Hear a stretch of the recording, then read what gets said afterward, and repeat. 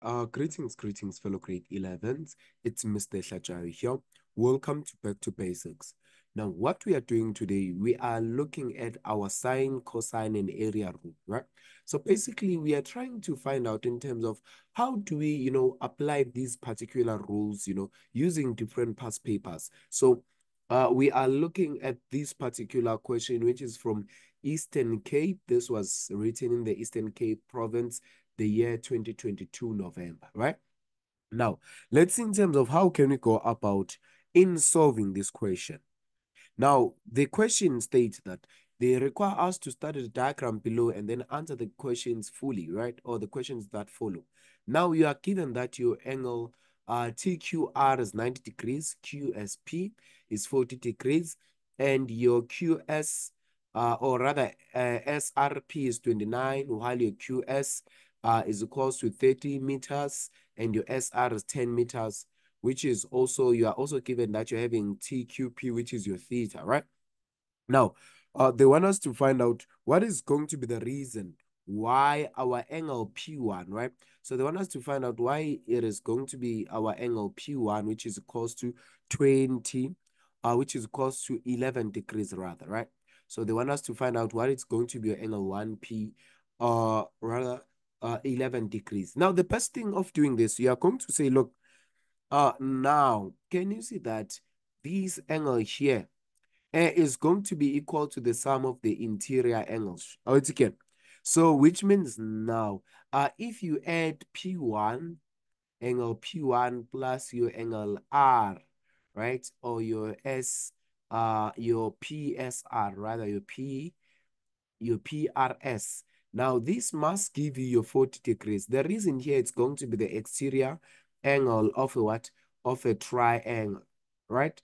Of a triangle. So that's going to be the reason why we are saying that. So your angle P1 is equal to, uh, you know, uh, 11 degrees because it's an exterior angle of a what? Of a triangle. Are we fine? So which means now we must write that this is going to be equal to 11 degrees. Now they want us to find out what is going to be the length of your PS your PS, right? Now, what is it that you're going to do to apply now to find out your length of your PS, right? The easier thing that we do, now we can apply our sine rule.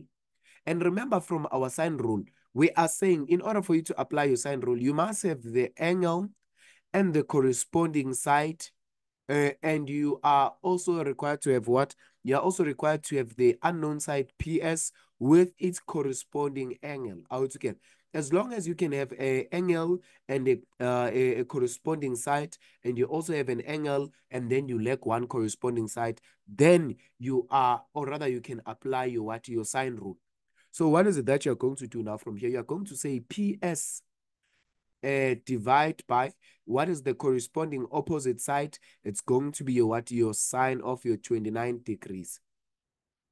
Uh, which is going to be same as uh, this is PS, and then now which is going to be same as your SR over your sine of what? This is SR over your sine of 11 degrees. Okay, so basically that is going to be that. Now, which means your PS is what you are looking for. Uh, divide by, so this is going to be divided by sine of 29 degrees, which is going to be same as 10 over sine of 11 degrees. Now, when you cross multiply here, your PS, you'll realize that it's going to be actually 10 sine of 29 degrees.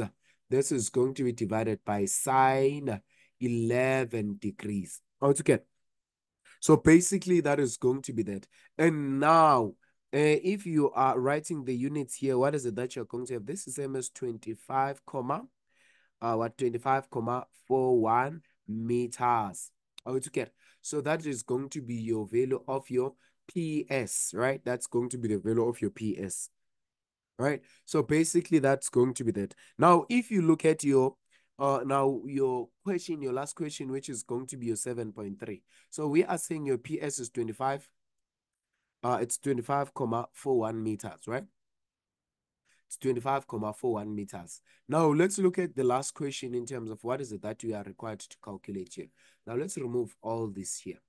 Now, in the last uh, in the last question, they say determine the value of your theta to the correct or to the nearest degree. they want us to find out what is going to be the value of your theta. Now, uh, now what is it that you can do to find out your value of your theta? Now, let's start here. So we are going to say if you can look at your theta. Now your theta and your Q1 have close relation because starting from theta to your Q1, it forms a 90 degree, right? Here you are going to have uh, what? You are going to have your 90 degree here, which means now uh, as soon as you can find your angle Q1, you can find out what is going to be your angle theta. right?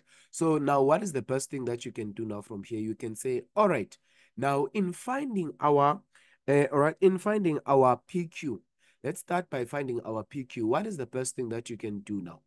Uh, now we are going to say, we are going to apply your, what you can apply either right uh here you can uh, apply your what you can apply your cosine rule because according to cosine rule you must have side side and the corresponding angle right you must have these which is the side here the side here and an angle in between. Which you, indeed you have you have the uh the side here you have the side here and the angle in between. So what is it that you're going to do? You're going to say look my pq my pq is going to be same as sine of uh this is going to be or not rather sine, but because we are applying the cosine rule, it's going to be PQ squared is going to be same as PS squared, PS squared plus uh, QS squared, uh, subtract 2 into bracket PS, multiply by QS. Uh, then this is going to be uh, your what your cos of your uh, PSQ, right? Your cos of your PSQ uh, your PSQ. Then now what else then now you are going to have here? Now yeah, what is it that you're going to have for PS? This is going to be same as 30 squared plus this is going to be same as 24,41, 25,41 rather, 25,41 squared, subtract 2 into, uh, this is going to be 30, multiplied by 25,41, and then this is going to be cos of and now this is cos of your 40 degrees. This is cos of your 40 degrees. And now, uh, as soon as you have that, now you can plug this in your calculator, right? Uh, and when you plug this in your calculator and then you find out the square root, let's see what is it that you're going to have. So you are going to find out that your value of your PQ, your PQ is going to be same as 19,44 meters, right? Your PQ here, it's going to be same as 19,44 meters. So basically that is going to be your PQ. Again. And now that you have your PQ, now that you have your PQ, now we can, uh, you know, find out what is going to be your angle Q1, right? Because now you have your what? You have a side, uh, you have your corresponding opposite angle. Uh, you are looking for what? You are looking for the side, or rather, you're, you are looking for the angle, but you are also having the what? The corresponding opposite side. Out again.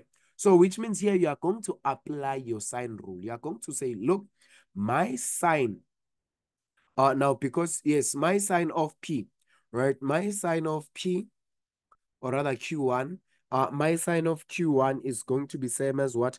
Uh, sine Q1, uh, it's going to be divided by what? It's sine Q1 over your PS, which is equals to uh, your sine of what? Your sine of your PS uh, Q, this is PS uh, Q over. Then now this is going to be what? Uh, then this is going to be divided by what? This is going to be divided by your, your what? What is it that you are having? Uh, your PQ rather. Yes, it's going to be your PQ. So now, and from here, what is it that you are going to have now from here? Let's see. So you are going to say here, this is your sine of your Q.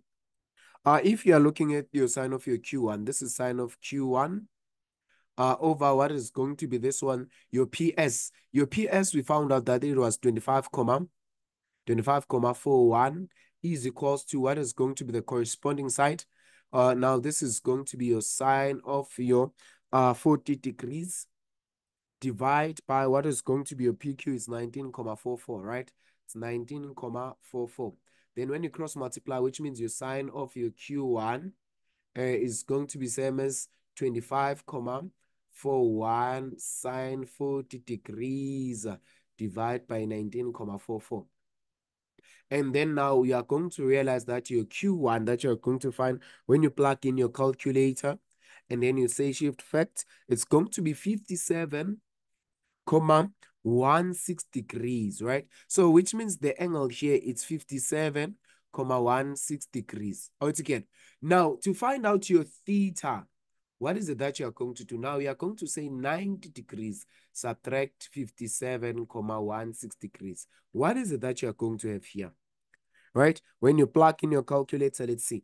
So, which means now when you plug this in your calculator, you're going to have 32, comma 84 degrees. Okay. Now, so that's going to be your angle of your uh, theta that you are going to find here. Again, now hopefully now you can be in a position to, you know, work with this particular question and, you know, know what you are required to do whenever so you are solving these types of question. Thank you very much.